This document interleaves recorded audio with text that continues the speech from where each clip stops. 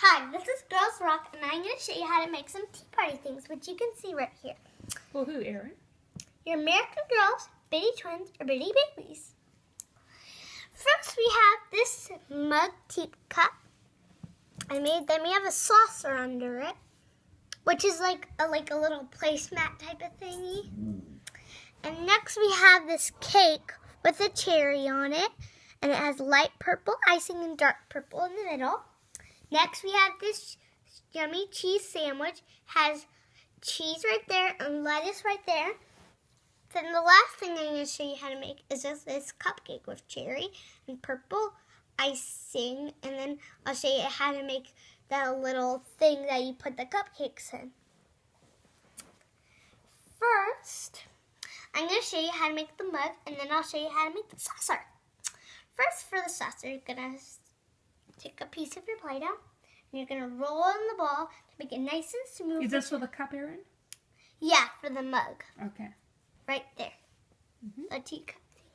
First, you're going to roll and ball. We're going to do that for everyone to start because we want to make it nice and smooth and pretty, right?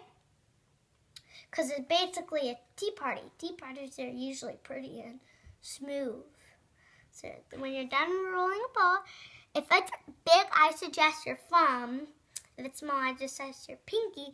Because um, if you use your thumb for that, then it'll probably take up all the room and you'll smash a big hole in there. And if it's too big, like that big, and you put your pinky in, then it'll be too small. So I suggest pinky for the small and the thumb for the big, because the thumb's bigger than the pinky. So you're gonna roll your ball, and I'm my, since mine's small, I'm gonna put my pinky in. And then take it out carefully. It's like a donut, kind of. Then you're gonna rip off a piece of another piece of your Play-Doh, small one, and you're gonna roll it like a snake. And then you're gonna do little handle. If you want to actually go in your doll's hand, then you can make a bigger, but I just made mine kind of small. Next, I'm gonna show you how to make the saucer, which is pretty easy, which you can see, but um, I didn't add decorations, but I am, but I didn't yet. If you want to, you can, but I didn't. And I'm not going to sh show the decorations and stuff, but if you want to add it, you can. So you're going to roll a ball first. Next, you're going to kind of smush it one side, two side, three, and four. And that's how you make the saucer. And you make the little mug. Next, I'm going to show you how to make the cake. For the cake, you're going to rip a piece of Play-Doh on. You're going to roll it in a ball as usual. And you're going to press one side, two, three, and four. And then you're, you're going to press down there, down here, and on the sides, like a square for the bottom. You're going to kind of make it flat kind of for the bottom, kind of. And then you're gonna make it kind of bigger or maybe a kind of smaller for like a cake. But I think bigger. So I'm gonna do mine bigger. I'm gonna roll the ball. And then one side, two side, three, and four. And then you're gonna do that side, that side, that side, and the bottom. Like a square. Then, I'm going to put that one on top.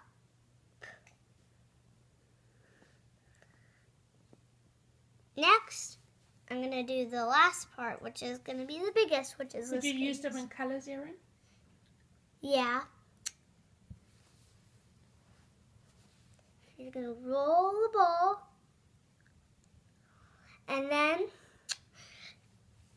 when you're done rolling the ball, then you're, this is going to be bigger. And then you're going to do that side, that side, that side, that side. And then you might want to do it a little more to make it kind of bigger. And then you'll do there, there, there.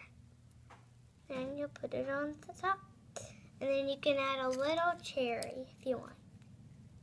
Why don't we add another color? That's what I'm doing.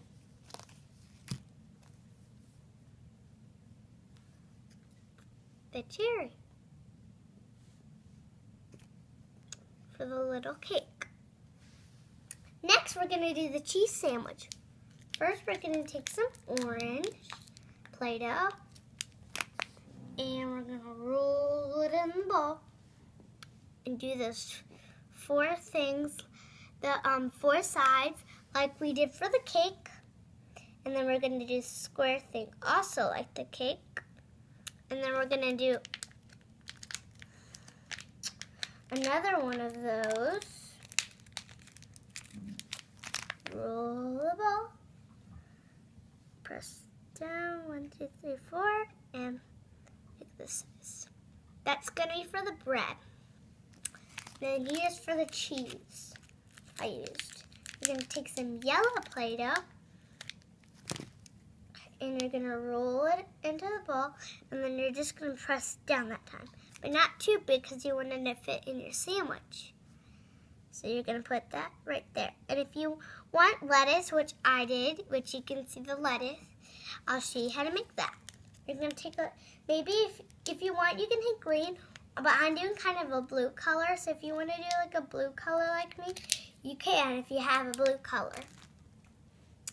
First, you're going to roll a ball and then press down a little. But if you do it kind of big like mine, you might want to kind of square it out. Press a little down. Then you're going to put that on top of that cheese. And then I'll press down a little. Ta-da! Not too much because you want to see the cheese lettuce. Now the last thing I'm going to show you how to make is the cupcake. You're going to take some orange. Well, you need like that big of orange baby piece or something. You're to roll a ball. And then you're to shape there, there. Next, you're to take a different color, the color you want for your icing, which I'm to do with this dark blue color. You're to roll in the ball and kind of press down and put it on there. And then for the cherry, just take a little piece, like a little ball, which you would probably know. And then put it on top. Ta-da! Thank you for watching. Bye!